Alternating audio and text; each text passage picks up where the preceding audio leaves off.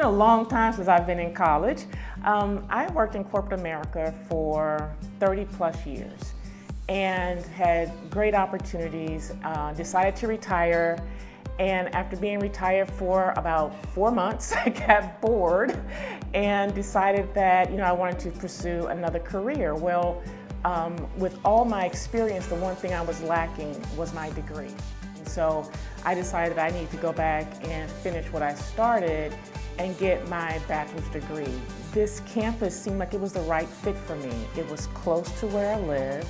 The price was perfect.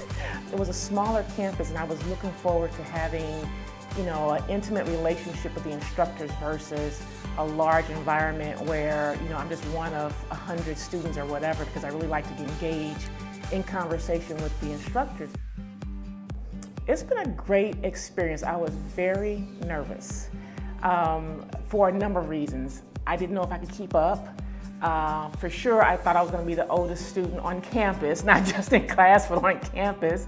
And I just didn't know how I would fit into the environment. Coming back to school, I had to change some of my behaviors. I, I didn't know how to study the way you're supposed to study to understand, to comprehend it.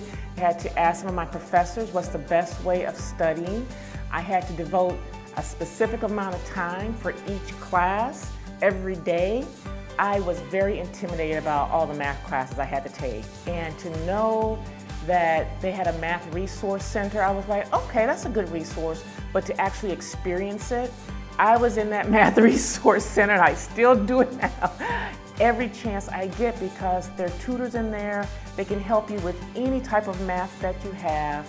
They're so willing and, and eager to help you that it was truly a great resource. There's a science resource lab, there's a writing resource, and because the campus is so intimate, it's not like you have to, you know, drive someplace else. You just walk down the hallway and there's a resource. Everything that you need, it's, it's right here on campus.